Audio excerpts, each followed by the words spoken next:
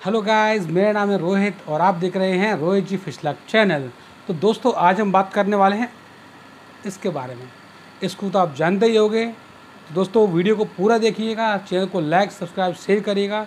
तो दोस्तों, चलिए वीडियो शुरू। तो जैसे कि दोस्तों, आप लोगों को ये दिख रहा होगा, ये है एक्वेरियम हीटर जो हम सर्दियों में इस्तेमाल करते हैं अपने एक्वेरियम में मछलियों को गर्म रखने के लिए और पानी को गर्म करने के लिए।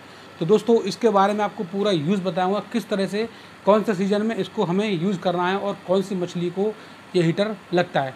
तो दोस्तों, सबसे पहले तो हम बात करेंगे कि हमारी फ़िश कौन सी कौन सी होंगी, जिसको ये हीटर पर पूरे बारह महीने लगता है।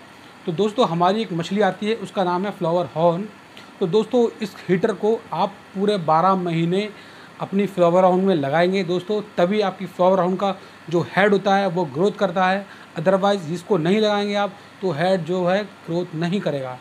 चलिए दोस्तों फ्लावर राउंड के बारे में हो गया है। अब बात करते हैं हमारी गोल्ड फ़िश के बारे में। तो दोस्तों गोल्ड फ़िश को इसकी इतनी ज़्यादा ज़रूरत नहीं रहती है। गोल्ड फ़िश के अलावा और भी कुछ फ़िश होती हैं, उनको इसकी ज़रूरत रहती है, लेकिन वो भी सिर्फ़ सर्दियों के मौसम में। दोस्तों, इसको अगर आप लोगों को लगाना है तो चिकलेट वेराइटी जो होती है इसकी जो फ्लावर ऑन फ़िश होती है, दोस्तों, उसको सिर्फ़ बारह महीने ये हीटर लगता है। ये बारह महीने, दोस्तों, उसके लिए हीटर लगेगा और अदरवाइज़ जो फ़िश होती हैं, जैसे कि हमारी गोल्ड हो गई शार्क हो गई, और भी कई सारी वैरायटी होती है शेबरम हो गई इंजल फ़िश हो गई, और ब्लैक मूर हो गई। जैसे दोस्तों, हमारी कुछ मछलियाँ होंगी, जैसे रेड कैप हो गई ब्लैक आई हो गई, और हमारी एंजल फ़िश हो गई विडो टेट्रा हो गई मॉली फ़िश हो गई तो दोस्तों, मोली फ़िश और जो जो भी फ़िश होती हैं, इनको हम सिर्फ़ सर्दियों में इस्तेमाल करते हैं इस हीटर को। गर्मी में इस्तेमाल नहीं करना है, वरना गर्म पानी के चक्कर में आपकी मछलियाँ भी मर जाएँगी दोस्तों। सिर्फ़ मछलियों को लगाना है, जो आपको बताया, फ्लावर हॉर्न उसको ये बारह महीने लगता है, वो भी ट्वेंटी नाइन डिग्री या ट्वेंटी एट डिग्री पर सेट होता है। अगर गर्मियों में आप लगाएँगे तो जितना टेम्परेचर आपका जो जो वेदर में रहता है, उस हिसाब से इसको सेट करेंगे। उससे ज़्यादा सेट नहीं करना है दोस्तों, वरना फ़िश को हाँ प्रॉब्लम हो सकती है। दोस्तों, बात करेंगे हम इसके टैंक साइज़ के बारे में, कि कितने बड़े टैंक में इसको हमें लगाना है, कितना बड़ा हीटर हमको लगाना है। तो दोस्तों, हम बात करेंगे, फ़िलहाल मेरे पास तो यही एक हीटर है, जो आप लोगों को इसी से बता दे रहा हूँ। ये मेरे पास डेढ़ सौ वाट का हीटर है। इसका जो वाट है ये है लिखा रखा है इस पर कि डेढ़ सौ वाट है। देखो, देखिए दोस्तों, ये इस पर डेढ़ सौ वाट का है। शायद कैमरे में साफ़ नहीं आ रहा होगा। इसको डेढ़ सौ वाट का है तो इसको हम लगाएँगे तीन फिट के एक्वेरियम में। उससे अगर हमें बड़ा अगर एक्वेरियम में हमें लगाना है तो आप उसमें 200 वाट का उसको हीटर आप लगाओ। मैं आपको टैंक शुरू से बता दे रहा हूँ, जैसे एक फिट का अगर टैंक हो गया तो पचास वाट का हीटर लगाओगे आप।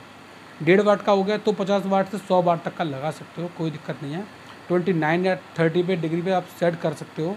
सर्दियों के मौसम में आप थर्टी टू डिग्री पे सेट सेट करोगे, तभी पानी गर्म होगा। उसके बाद दोस्तों दो फिट का हो गया तो दो फिट में भी आप हंड्रेड वाट का ही लगा सकते हो, कोई दिक्कत नहीं है। उसके बाद ढाई फिट का हो गया तो ढाई फिट में दोस्तों आपको ये डेढ़ सौ वाट का खरीदना पड़ेगा। ये आपका काम करता है ढाई फिट से लेकर तीन फिट तक एक्वेरियम में, डेढ़ सौ वाट का। बत्तीस डिग्री पर चलाओगे, सर्दियों के मौसम में अच्छा पानी गर्म करेगा, मछली को कोई प्रॉब्लम नहीं होने वाली है। उसके बाद में बात करेंगे दोस्तों साढ़े तीन से चार फिट के एक्वेरियम में दोस्तों, आपको दो फिट का सॉरी ये 200 वाट का जो हीटर है, वो आपको लगाना पड़ेगा अपने चार फिट के एक्वेरियम में। और उससे बड़ा अगर हो गया दोस्तों तो आपको उससे भी ज़्यादा वाट का हीटर लेना पड़ेगा। जैसे ढाई सौ हो गया, तीन सौ हो गया, मुझे लगता है ऐसा तीन सौ तक जाता है। तीन सौ का आपका छः सात आठ फिट के एक्वेरियम में बढ़िया काम करता है। अगर नहीं काम कर रहे तो ऐसे आपको दो हीटर लगाने पड़ेंगे। ठीक है दोस्तों और दोस्तों, एक बात और आपको और बता दे रहा हूँ, कभी भी आप हीटर खरीदो तो कभी सस्ता हीटर मत खरीदो, जैसे मैं आपको कुछ कंपनियाँ बता दे रहा हूँ, जैसे कि ये आर एस इलेक्ट्रिकल का है, ये आर एस इलेक्ट्रिकल का हीटर है, आप इसको ख़रीदें। देखिए, ये आर एस इलेक्ट्रिकल का हीटर है, इसको आप ख़रीदें। दोस्तों, बहुत ही अच्छा काम करता है, एक कंपनी और आती है, सोबो। आप सोबो का भी खरीद सकती हैं और एक वीनस एक्वा का भी आता है, दोस्तों। तो आप ये तीन कंपनी के अलावा चौथा कंपनी ना खरीदें, और भी कंपनी आती हैं, जल्दी ख़राब हो जाते हैं, एलिमेंट जल्दी ख़राब हो जाते हैं, ज़्यादा अच्छी परफॉर्मेंस नहीं होती है उनकी। तो दोस्तों, ये तो मैंने आपको बता दिया हीटर के बारे में। ठीक है दोस्तों, किस तरीके से आपको यूज़ करना है? आपको ये जो हीटर है ना, इसको यहाँ तक डुबो के रखना है।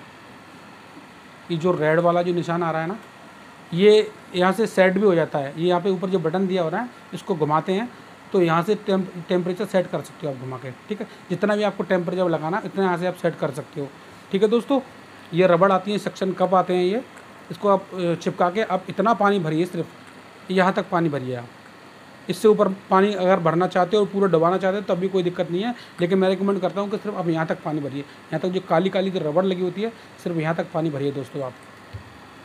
तो दोस्तों, मुझे नहीं लगता कि सारे डाउट मैंने क्लियर कर पाए हों। अगर आप लोगों को कुछ और प्रॉब्लम आ रही है तो मुझे दोस्तों आप कमेंट करके बताइएगा। मैंने कहाँ कुछ गलती करी है हीटर के बारे में, और मुझे कमेंट करके बताइएगा। मेरा व्हाट्सअप नंबर भी रहता है, मुझे कमेंट करके, लेकिन व्हाट्सअप पे मुझे कॉल ना करें। आप सिर्फ़ व्हाट्सअप पे मुझे एक एसएमएस छोड़ सकते हो। मैं उसका रिप्लाई जैसे फ्री होता हूँ तो मैं आपको रिप्लाई कर दूँगा दोस्तों। तो दोस्तों और भी कुछ आपको अगर प्रॉब्लम हो रही है तो मुझे कमेंट करना। मेरे चैनल को लाइक करना, सब्सक्राइब करना, शेयर करना अपने दोस्तों में। ठीक है दोस्तों, अगले वीडियो के लिए थोड़ा सा इंतज़ार करें। तब तक मिलते हैं। जय हिंद, जय भारत।